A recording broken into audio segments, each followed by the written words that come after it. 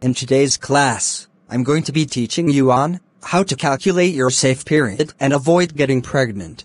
The first thing to note is that you should start counting from the day you started bleeding, not the day you finished bleeding. In calculating your safe period, you must start counting from the day you started seeing your menses, and not the day you finished. So for example, if you started bleeding on the 4th, you start counting on the 4th, not the day you finished bleeding. The first day of bleeding is day 1, the second day, day 2, the third day, day 3, the fourth day, day 4, the fifth day, day 5, the sixth day, day 6, and so on and so forth. So the day you started bleeding is the first day. You start counting from that day.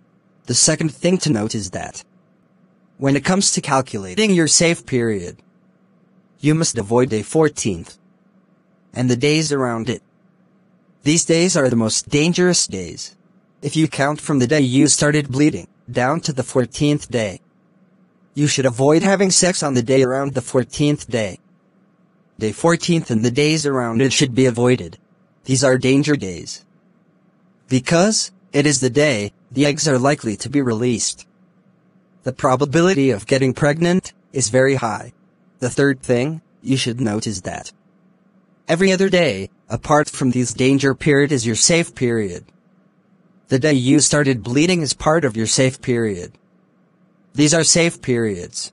Note this period, safe period, safe period, safe period, all other days apart from this danger period, and down to your next period in the next month are safe. The danger period, the days you avoid sexual intimacy, are the days around the 14th day. I will repeat it one more time.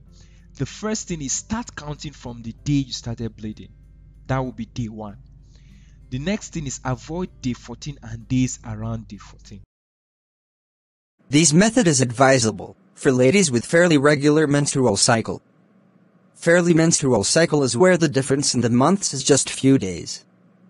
You might see your period on the 17th this month, and 18th next month, or 19th or 16th or 15th next month. The difference is not much. Few days plus or minus. We can say, you have a fairly regular menstrual cycle. This method is not advisable for ladies with very short menstrual cycle. Those who see their period every three weeks. And it is not also advisable to ladies with very long menstrual cycle. Those who see their period once in two months. Both short and long menstrual cycle are not advised to use this method. This method only works for those with fairly regular menstrual cycle.